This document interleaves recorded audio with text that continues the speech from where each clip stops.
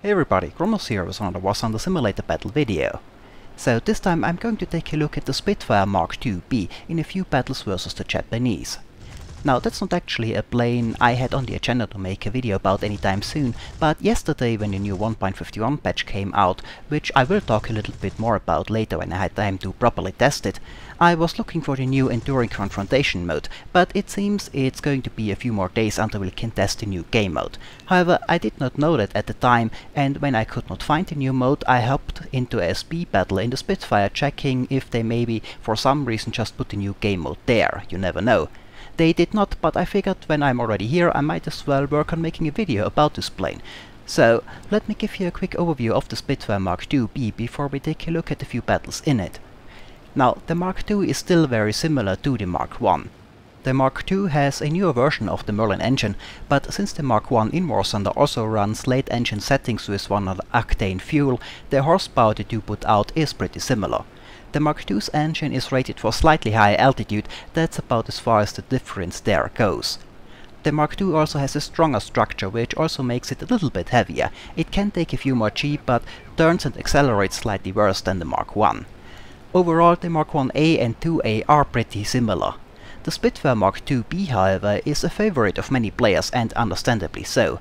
It is the first Spitfire in War Thunder that has a cannon armament and therefore giving it a pretty good hitting power but still being an early Spitfire, it is also very light and retains the exceptional maneuverability of early Spitfires, giving it a great mix of firepower, maneuverability and speed. Now this maneuverability of course means the Spitfire in general and the lighter earlier marks especially are great fighters in the defensive, a trait that was also recognized by the opposition. This for example a short anecdote from Adolf Galland's book. During the Battle of Britain, Goering supposedly asked his ace pilots what they would need. Some said, for example, more powerful engines for their planes. Galland, on the other hand, supposedly answered a squadron of Spitfires, which did not make Goering very happy. Now, that little story is often quoted out of context to prove that Galland thought the Spitfire was better than the Bf-109, which is not true as you can also read in his book. His comment was more meant as a protest for the fact that at the time the Bf-109s were pressed into a job they were not very well suited for, and the Spitfires could have done better and that is close escort for bombers, where the Bf-109 had to slow down to stay with the slower bombers, which put them in a situation from where they were vulnerable and could not really do a whole lot, since the Bf-109 is more of an offensive fighter, which needs speed to be effective. The Spitfire on the other hand, while also not perfectly suited for the situation, could have done better in it, since it is much better in the defensive, and even when attacked while on slower speed, it can still use its maneuverability to fight back. That is what Galland meant when he said he wants a squadron of Spitfires. Now, that maneuverability advantage in most cases when it comes to the Spitfire means its low wing loading and good turn rate. The Spitfire most of the time could simply outturn its opponents. So when the Spitfire pilot saw an attack coming, he could often simply turn out of the way, with his opponent not being able to follow, at least not right away. When fighting the Japanese, of course, you will however run into Zeros which turn better than you and will be able to turn after you. That means even in the Spitfire you want to try to keep your speed up as much as possible since the Spitfire can't outturn a Zero. In that matchup you're more of an energy fighter, using the higher energy state that the Spitfire can build up thanks to its higher top speed. Keep in mind though that the Zero and to a lesser degree but also the higher Hayabusa, thanks to their light weight and decent power to weight ratio, are very energy efficient in turns and that makes them very good energy vampires. If you dive down on a Zero with an energy advantage for example, and the Zero maneuvers and you pull some heavy maneuvers too in an attempt to get a shot at the Zero, the Zero will most likely lose less energy than you in that and can use this to equalize the energy pretty quickly and then you are at a disadvantage. In such a case it is often better not to maneuver, simply pull up and come around and try again. This is true for most planes when fighting a Zero though, not just a Spitfire. It is easy to build up more energy than a Zero, with its light weight and slow speed it simply can't get that much energy to begin with, but keeping that energy advantage is a bit more difficult. That's a trap you see pilots of good turners often fall into when fighting the Japanese, losing too much speed turning after an opponent and suddenly being low and slow with a Zero on your tail. When there are zeros around, it is always better to keep your energy high, as the usual fallback plan you always have in a good turner like the Spitfire, just use your good low speed maneuverability, won't work that well in that case. However, the Spitfire on top of its turn rate also has a very decent roll rate, unlike the Zero, something you can use to make it very difficult for an attacking Zero that is already close to get a shot at you. Using your roll rate, you can often at least stay alive for quite a while against a Zero on your tail if you don't have the speed or altitude to simply dive away, until help arrives or maybe even achieve an overshoot. Just don't try to straight up turn with a Zero behind you, because that won't do anything. Now armament-wise the 2B has of course two Hispano cannons, which pack quite a punch, but have only 60 rounds per gun, so they do run out fairly quickly. And four 7.7mm machine guns, which does have received a bit of a buff in the latest patch, and now do quite a bit of damage too, at least with the tracer belt I have used in this video. Well, that's a bit of an overview of the Spitfire 2B, let's take a look at a few fights in it. This match takes place on the Guadalcanal map and I joined in progress. Someone called for assistance from the shore and as I got there it seems other friendly fighters react to the call as well and there's a fight going on here. I can spot a few friendlies going after a Japanese fighter, but at first I can't spot another enemy plane, so I climb above the furball to provide cover. If another Japanese plane comes in to attack a teammate, I am in a position to hopefully intercept him before he can do too much damage. Now the lighting conditions are pretty poor with the sun being quite low, that makes it harder to keep an eye on things. As I look down at the planes below me, one of the planes below me looks like it has a green camouflage and might be enemy and I point my nose at it to attack, but as I get closer and I get a closer look at it, it turns out to be a Spitfire, so I go back up and continue to circle above the friendly planes to provide cover.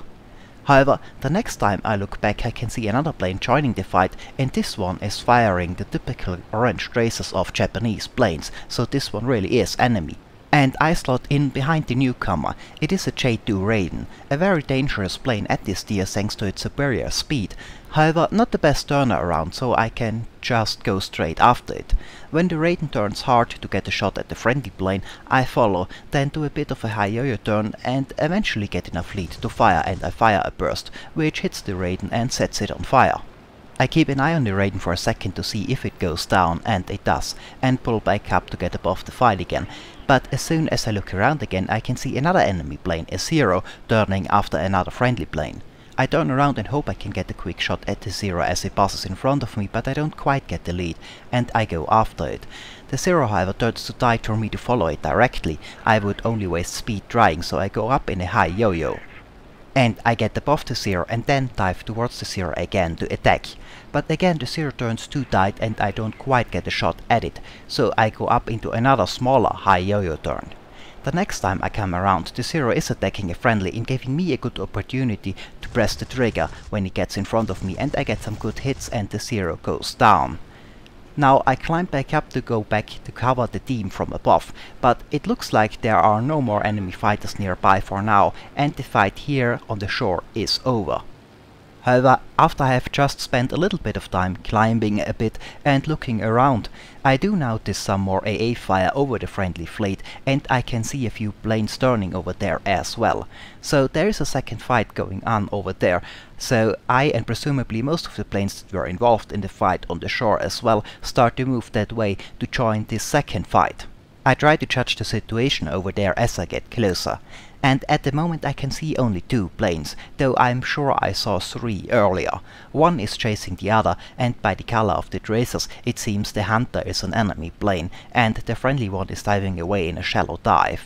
I keep an eye on them, and after a bit a third plane joins them. Two of them go into a descending turn, chasing each other down, one is pulling up. I assume the one pulling up is friendly, but I'm not 100% sure, and since the hurricane to my left is apparently going after the lower two, I stay higher for now in case the one that climbed up turns out to be enemy after all. However, it is friendly as I thought. So I come around looking for an enemy plane below me. It's hard to see them over the dark water in the low light conditions, so I don't see the enemy plane until it fires. But it turns out I'm in good position to attack after I do. And I can take out the Zero, though I took a hit from friendly AA in the process it seems, though the damage is not that bad. However, the sudden hit did confuse me a bit and I look around for a possible enemy plane behind me that might be the cause of it, but there isn't one. Now the rest of my team is chasing another enemy plane that is already damaged, and from the AA fire or lack thereof in other areas of the fleet, I assume there are not that many other enemy planes around. However, I still want to keep an eye out. As the damaged plane wanders in front of me, I try a bit half-heartedly to get a shot at it, but I don't want to commit going after this one with so many other planes already doing it, and I pull up to get above the friendlies again to provide cover, and just as I do so, a Hayabusa is coming in from higher altitude. So I dive down to go after this newcomer. Now, the Hayabusa rolls better than my Spitfire, but unlike the Zero, it doesn't turn better, so I just turn straight after this one in this case. I fire a burst and then a second one, but I don't lead quite enough in the tight turn and my shots go a bit short. And I don't get any hits. Now, with my cannon ammo getting low, I just fire machine guns for a bit, saving the cannon for a sure hit. As the Hayabusa tries to go after friendly plane, I get some hits and eventually one of my incendiary rounds hits the Hayabusa's fuel tank, and it seems in this batch the fuel tank can also blow up when hit by incendiary rounds, not just catch fire. So the Hayabusa goes down and with my ammo being low I decide to head back to base to rearm. When I'm done with repairing and rearming at the airfield and I'm back in the air, a new fight has erupted over the friendly fleet and I make my way back there as fast as possible. Sadly, a friendly Typhoon just goes down right before I can get there and that leaves only me and one more Spitfire on our team with about 4 or 5 planes on the enemy team. A already smoking enemy plane passes in front of me and I go after it. But it turns out the second Spitfire is already on him, so instead I pull up and to the side to get in escort position over the other Spitfire while he attacks the damaged plane, so I can provide cover if he gets attacked. And as is often the case, it does indeed not take long until another enemy plane shows up to help out the damaged one and goes after the second Spitfire, and I'm in a position to intercept. So I dive down to attack the newly arriving plane, a Ki-43, as it tries to slot in behind the Spitfire. In a slight dive I can speed up and I'm behind the Ki-43 and it fire position quickly and start to attack. I get a hit that damages the Ki-43, but he's not out of the fight yet, so I fire a few more bursts after it, and after some more hits eventually the wing breaks off and the Hayabusa goes down. But as I look back I can see that the Zero has taken the opportunity to get behind me, so I have to take evasive action. I call for assistance to get the attention of the second Spitfire, hoping he returns the favor. Now, my plane is faster than a Zero and I could outrun it in theory, but if the Zero is too close that would also give him an unacceptably good opportunity to fire, as I have to fly more or less level to do it. I think about it as the Zero seems to fall a bit behind, but a second one shows up and this one is closer, so I decide to just use my roll rate to keep the Zeros from getting a shot and if both of them are focused on me that should give the second Spitfire a good opportunity to attack. Now, the Zero is a great turner, but its roll rate is pretty poor, which you can use against them in a plane with a decent roll rate, especially if that one comes coupled with a good turn rate like on the Spitfire. The basic defensive move I use is as almost always a barrel roll, but not a nice smooth even one, because a barrel roll alone puts more emphasis on elevator authority than roll. The Zero could easily follow a simple barrel roll and get lead to fire, but an uneven one, more oval shaped. For example, going up in the first part of the roll, when the Zero comes around, you roll around abruptly and go back down, and so on, keeping an eye on the Zero and using the roll rate of the plane at the right moment while using the elevator authority to still have the vertical element of the barrel roll to keep from passing in front of them as much as possible, as you may would in a flat scissor. Now here I make a mistake though, one of the zeros overshoots and I get a bit too greedy and try to get behind it and get a shot to maybe take it out. But in the meantime I don't put enough emphasis on my own defensive maneuvers against the second zero, so it gets a hit in and I go down. Well, that was my mistake. And this is it for this fight, let's take a look at another one. This battle also takes place on Guadalcanal. I was moving towards the island and climbing with a friendly plane to my right, a bit lower, as I can spot a single enemy plane coming from the other direction, also on lower altitude. The enemy plane goes into a head-on with the friendly plane and I come around to dive on it. The enemy plane it turns out to be a Ki-44 case into a climb after the head-on, just as I arrive. I fire a burst and miss and the Ki-44 tries to dive away, but I'm on much higher speed from my own dive already and we are nowhere near high enough that the Ki-44 could equalize the speed difference. I have to be careful not to overshoot diving after it. As we level out, I am in fire position behind the enemy plane and get a few good hits when I fire and the Ki-44 goes down. And after that I can use the speed from my dive to get back as much altitude as possible. After circling the area while climbing a bit, I notice a fight going on over the island on slightly higher altitude and I move there to assist. Since the fight is taking place on higher altitude than I am flying at the moment, I keep climbing a bit to the side as I approach, so not to arrive below the fight, but at least at the same altitude where I can attack an enemy plane, or maybe even above it. I can see at least two, maybe more enemy planes. And as I got at least more or less enough altitude to attack, I go in and try to get a shot at the Zero that was attacking a Spitfire and damaged it. The Spitfire is in a spin and the Zero is coming down in front of me and I hope I can get a shot at it as it passes in front of me, but I don't quite get the shot and the Zero starts to turn to the right as I approach and since I can't follow the turn I go up to hopefully get above the Zero and attack it from above, though I am on slow speed from my climb. The Zero though seems to go for another Spitfire below me. Now that would give me a good opportunity to attack, but I also know that I saw at least one more enemy plane up here just a moment earlier, and I don't want to give another Zero a shot at me, so I keep scanning around. I can't see anything else though, and I'm just about to start to dive at the Zero below me, as I can see a second Zero coming in from the front of me, so I focus on that one. The Spitfire below should be on high enough altitude to outdive and outrun a Zero if necessary. Now, since the Zero came in with a bit of an altitude advantage, I don't know how a fight versus it will go, but just like the other Spitfire below me, I am high enough to simply outdive the Zero should things not go well. After one pass I go up again to see if I can manage to work out an advantage in the vertical. It appears though that the Zero was on a bit too high of an energy level when we initially merged. It was above me after all, and I don't quite get as much of an altitude advantage over it as I loop as I would like. And as the Zero passes behind me, I get ready to just dive away a bit and gain distance from the Zero. But then I see yet another Spitfire coming in and attacking the Zero, so I decide to stick around and instead use the roll rate of my plane to evade the Zero a bit and hopefully keep it interested to give the other Spitfire a good shot, basically a drag, just to more rolling. I evade the Zero for a bit longer and after rolling around two or so more times, the Zero eventually breaks off to deal with the Spitfire that is attacking it. So now it is my turn to go on the offensive, so I start to loop around to get behind the two. When I finish my loop and I get a closer look at the two again, it seems the Spitfire has overdone it a bit turning after the Zero and spun the plane, and the Zero is coming around to attack, but is giving me an opportunity for a deflection shot while he's at it. So I line up the Zero and fire a burst when he passes my gun sight. I get some hits but not enough to take the Zero out and I can get another burst in before I have to break off because the Zero turns to die, and I get some more damage and I can see a part falling off the Zero, but still not enough to take it out. As I look back I can see another Zero behind me, so I roll around and dive a bit to evade and get some distance.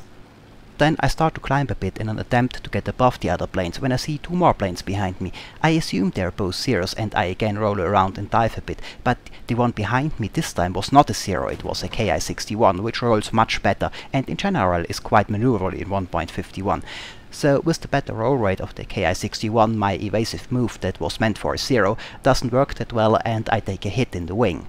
However, after one more evasive maneuver, the Ki-61 breaks off, and with my plane damaged, I decide to just dive away and use my superior speed to get back to base and repair my plane. I don't run into another plane on the way back, though when I reach the airfield it is under attack by a Ki-43. Luckily, I did saw him coming from a distance, so I did not go for a landing but a fake approach on the runway with the gear up.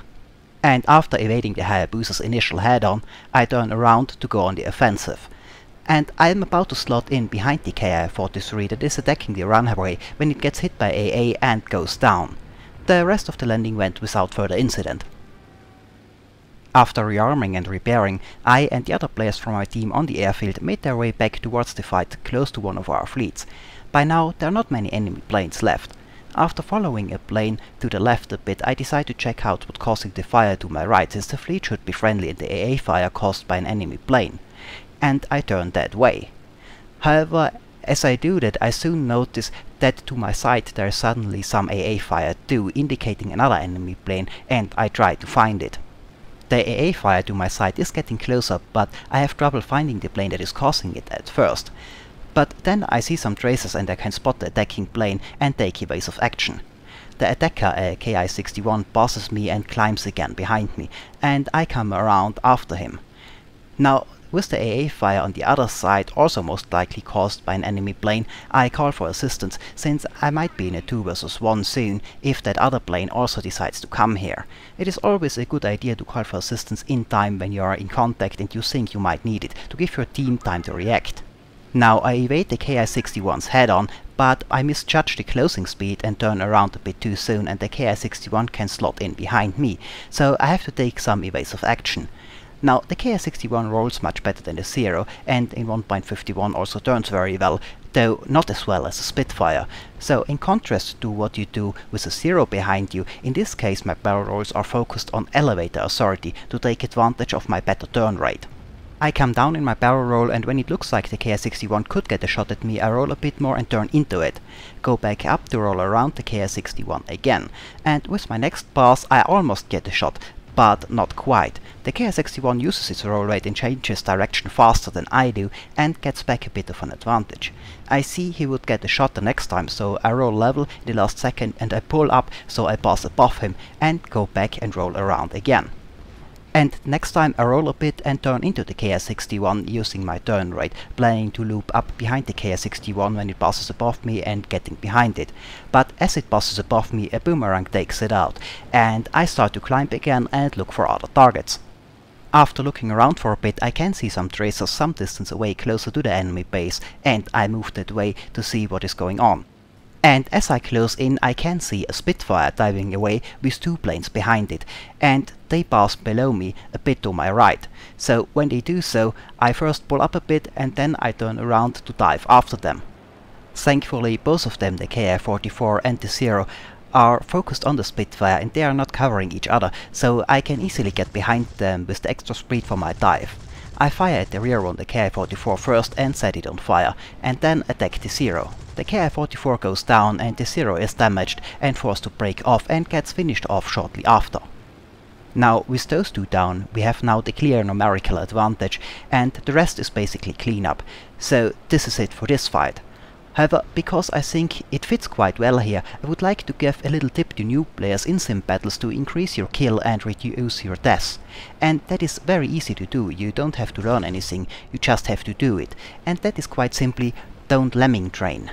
What I meant by that is, let's assume there's you and a friendly plane and you're chasing an enemy plane. Now what you want to do if the other friendly plane is in a better position to attack because for example he's closer, you don't want to go after the same target if your friend doesn't need help with it. Instead, climb above him and a bit to the side and cover him from attack. Now, if it is the other way around and you are in a slightly better position to attack, but your teammate does not cover you and is going for the same target you are, and let's face it, that is what will happen in 90% of the cases, you do the exact same thing as before, you cover him. Not because you're just such a nice person and you want the other guy to have all the kills, and not because you want to do the other guy's job for him out of the goodness of your heart, but because I guarantee you 100% if you start doing it, you will get more kills and you will get less deaths. And I think I have more than enough examples for that in my videos. It just happens a lot. I just wanted to mention that because from playing simulator battles that is in my opinion one of the primary things that could improve a lot of players' skills and reduce their deaths with quite frankly very little effort. Well, with this being said, this is it for this video. As always, I hope it was entertaining, thanks for watching and maybe I'll see you next time.